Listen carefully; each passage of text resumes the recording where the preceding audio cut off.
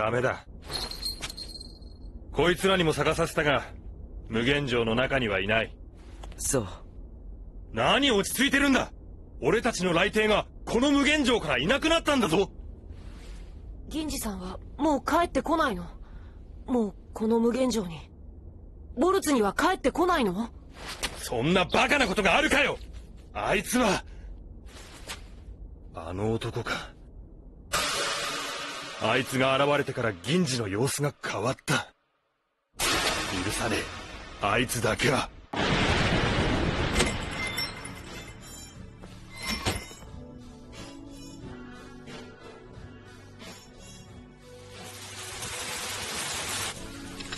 飲みな。凍えそうなんだろ。別に。そうかい？でもあんたなんだか冷たい雨に打たれたような目をしてるぜいただきます。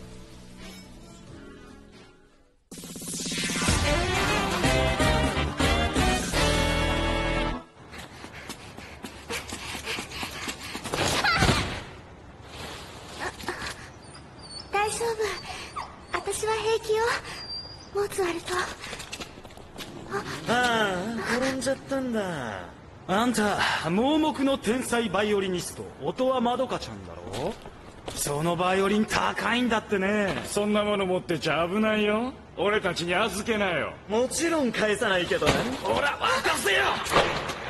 いいって何しやがったこの。こんなクソ犬が。ひどいことするな。動物いじめちゃダメだよ。はい君の犬でしょ？可愛いね。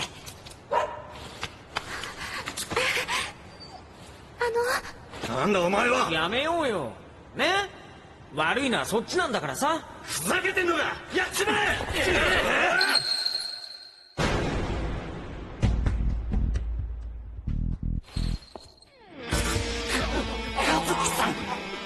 え！いい匂い誰だろう？君たちはこの人が誰だか知っているのか？誰って天野銀次昔僕たちをまとめ上げていた人だよ。なんですって？じゃあこの人が無限城の来帝ボルツのリーダーだったあの最強最悪の冷血魔王悪魔の化身天野銀次さそれ言い過ぎ。勘弁してください。怪我はなかった。あなたは？ゲットバッカーズの天野銀次だよ。音羽まどかさんでしょ？遅いから迎えに来たんだ。はいありがとうカズちゃん。助かったよ。銀次さんやはり戻ってはくれないのですか？ごめん。俺は今新しい仲間と楽しくやってるからさ。楽しくですか？あなたがいなくなってから僕たちは完全に秩序をなくしてしまった。何言ってんの！糸の和樹がいればそんなの全然。ダメですよ。僕ではあの3人が納得しない。誰もが納得するリーダーは来帝天野銀次ただ一人なんです。もう来帝じゃないよ。俺は。銀次さん。今の俺はゲットバッカーズの天野銀次なんだ。そうですか。ごめんね。さまどかちゃん行こう。どこへ行くんだ？お前たち。ああいえその。誰に頼まれた？頼まれたなんてそんな。金かそのために目の不自由な少女を襲うとは。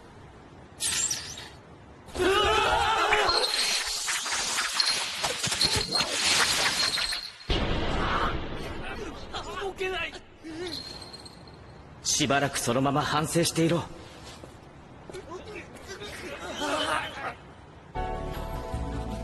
君みたいな女の子が一人で裏通りを歩くなんて危ないよ。そんなに怖いところなんですか？そりゃもう。だからあ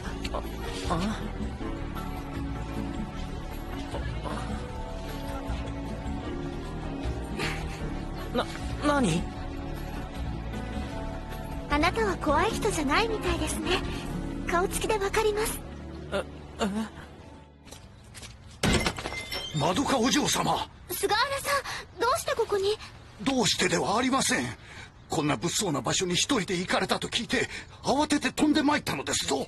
大丈夫なのに。もしものことがあったらどうするのですか？でも悪い人ばかりじゃないですよ。そうですとも。我々ゲットバッカーズのように困ってる人のため働いている者もいるわけでして。あなたは？私ゲットバッカーズの御堂バンと申します。さあさあ奥へどうぞ。狭くて汚いところですがどうぞどうぞ最近金持ってそうな依頼人には露骨にこびるわね。うるせえ。夏美アイスティーな。はい。マスターお願いします。はいよ。ストラディバリウス。はい。何それ。イタリアの名匠アントニオ・ストラディバリが作った弦楽器の総称だ。もしかして貴重品？売りに出せば安くても2000万。最高の品質のものなら奥の値がつくわよ奥？でもそのストなんとかってそれなんでしょ？取り返してほしいってどういうこと？これは偽物です。え？誰かにすり替えられていたんです。取り返していただきたいのは本物のストラディバリウスです。そしてそれを今持っているのはこの男よ。世界的バイオリニストであり輸入業を営む青年実業家。でも裏の顔はマフィアとのつながりを噂される人物阿久津俊介。指導なぜこの阿久津ってやつがあんたのバイオリンを取ったって分かった？彼が取ったのかどうかは分かりません。でもバイオリンは間違いなく私のストラディバリウスです。先日のクラシックイベントで共演した時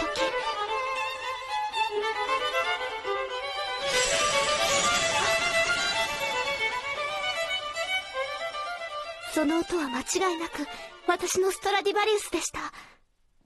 私が先生からいただいた命より大切な。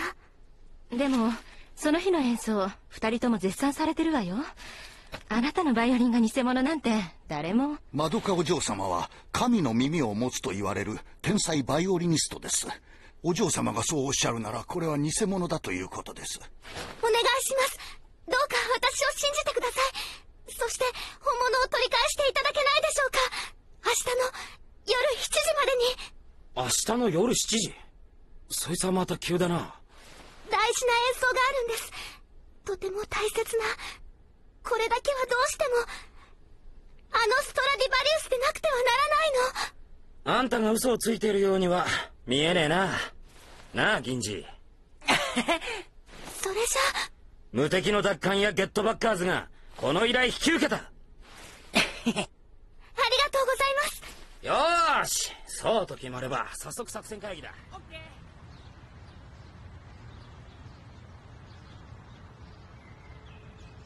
阿久津俊介か。シドに知らせてやるべきか。今夜阿久津さんの屋敷にイタリアからの来客があってその歓迎のために室内楽のクインテットを呼んでいるそうです要するにこの音楽家と入れ替わって阿久津の屋敷に入るのが一番確実なんだよ。それはいいが何も夏美ちゃんまで連れてこなくても。私平気です。お仕事のお手伝いができるなんて。嬉しいです。あのな夏美ちゃん。相手はマフィアとつながってるような危険なやつなんだよ。しょうがないじゃない。クインテットなんだから。5人いなきゃ変でしょ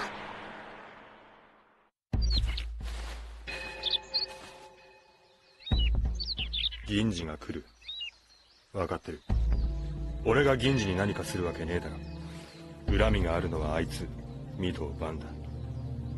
和樹に伝えときな。余計な心配だってな。もっと無理か。人間ってのは不便だな。いや愚かと言うべきか。お前らの言葉に耳を傾けようともしねえんだからな。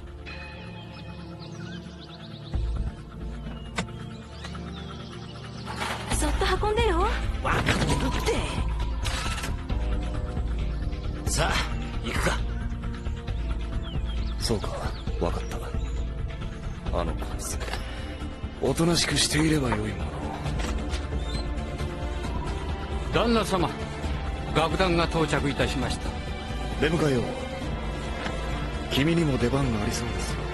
まずは守り屋としてこれを守ってください。頼みますよ菱木さん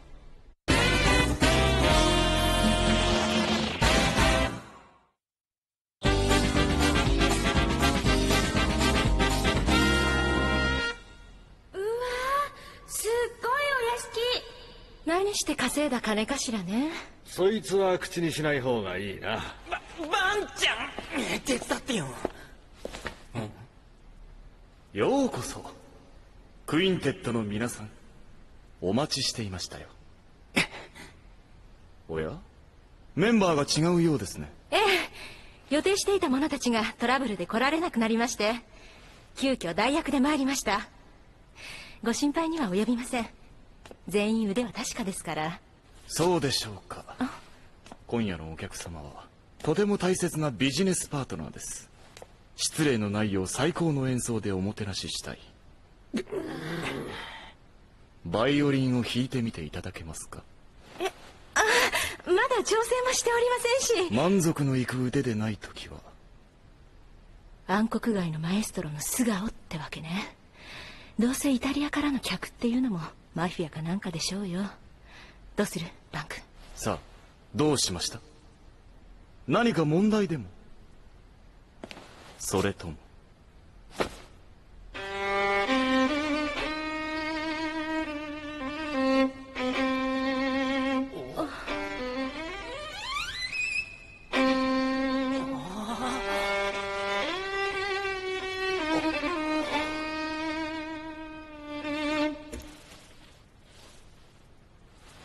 晴らしい。大した腕だ。では今夜の演奏会までゆっくりお休みください。黒部は部屋に案内して差し上げてくれ。それではごゆっくり。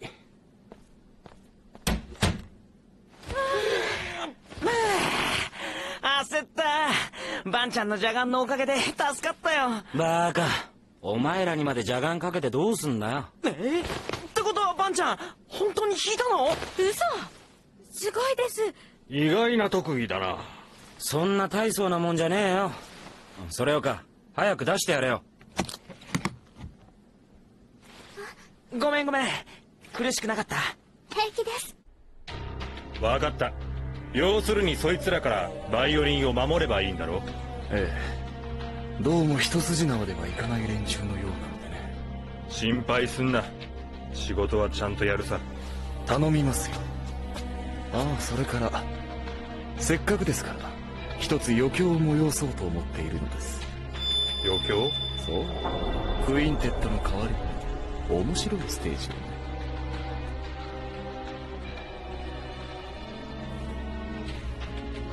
お前さっきから何探してんだ？あいや別に。あの雑誌で阿久津の後ろに写ってたやつ探してんのか？気づいてたの。当たり前だ昔のボルツの頃の仲間なんだ。四天王って言われていた一人でビーストマスターのシドって言うんだ。ビーストマスター？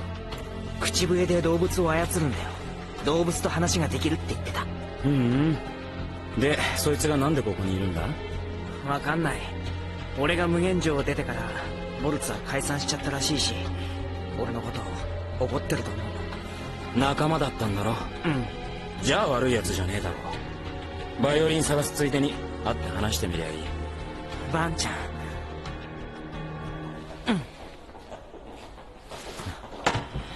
さあパーティーを始めましょうか。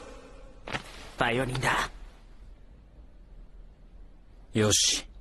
打ち合わせ通りに行くぞ。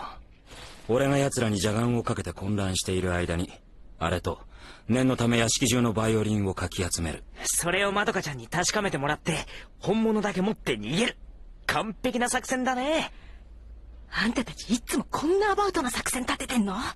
じゃあ行ってみようか。じゃあ。なんだこりゃ。嫌な予感。今宵は皆様のために最高のショーをお見せいたします。もしかして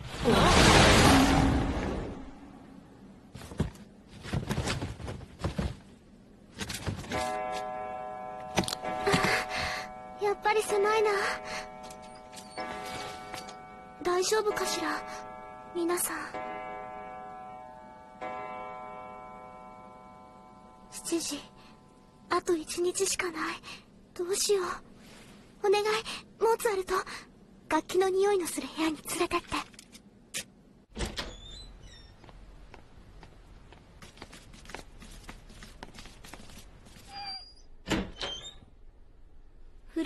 ニスの匂い。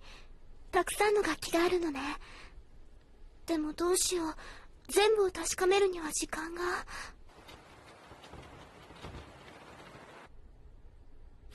そうだ。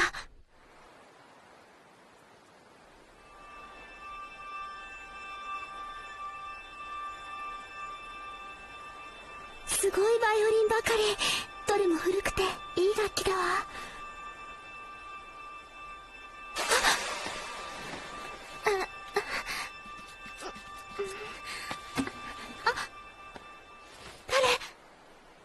弾いてみせてくれねえか。これが弾きたかったんだろ？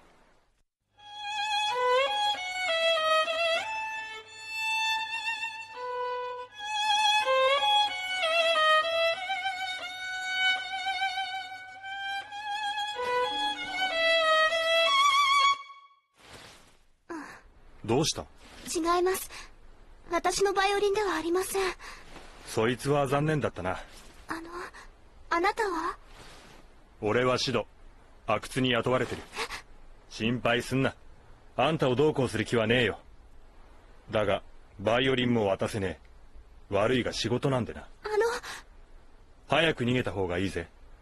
奪還屋は失敗する。俺がいるからな。じゃあなモーツァルト。どうしてモーツァルトの名前を？夏美ちゃんたちは俺が守るから狙われてるのは俺じゃねえか。面白い余興でしょう。仕方ねえ。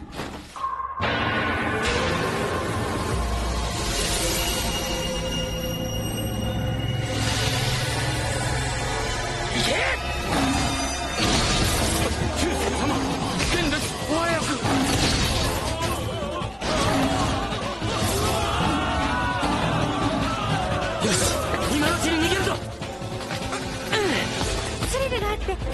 ね。夏美ちゃん。やっぱり来るんじゃなかった。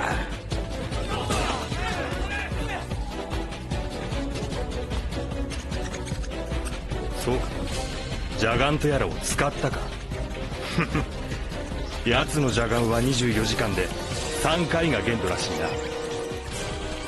あと2回まどかちゃん。どこに行ったんだ？こんな時に。どうするの？仕方ない二手に分かれて探す。ここからは遊びはなしだ。ジョーちゃんを探し出して依頼品も取り返す。オッケー。俺たち無敵の奪還屋だもんね。君の出番のようだ。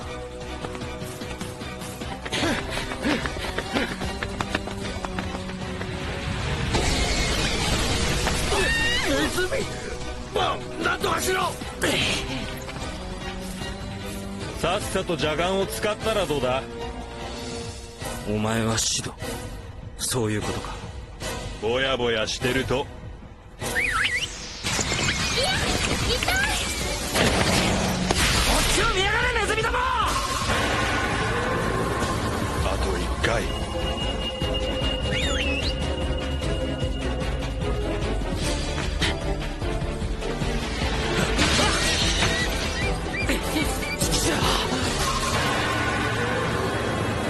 事な切り札を使い切っちまったな。御堂番大したことはねえよな。お前が銀次の相棒だなんて笑わせる。ごちゃごちゃうるせえぞ。ん？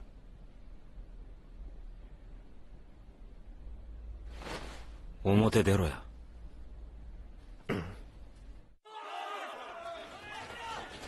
騒ぎになってる。奪還屋さんたちどうしたのかしら。あこの音。間違いない。私のストラディバリウスだ。きっと阿久津さんが弾いてる。この屋敷のどこかで。見つけた。まどかちゃん。銀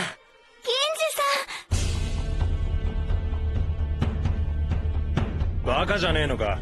俺を庭に連れ出すとは。感じねえかこの闇の中でお前を狙っている無数の気配を。いるんだよ。そこら中に牙や爪を尖らせた俺の仲間がな。切り札の邪眼を使えないお前には手も足もう出ねるせえって言ってんだよ。俺に喧嘩を売るとはいい度胸だ。本気で怒らせやがって。格の違いってやつ教えてやる。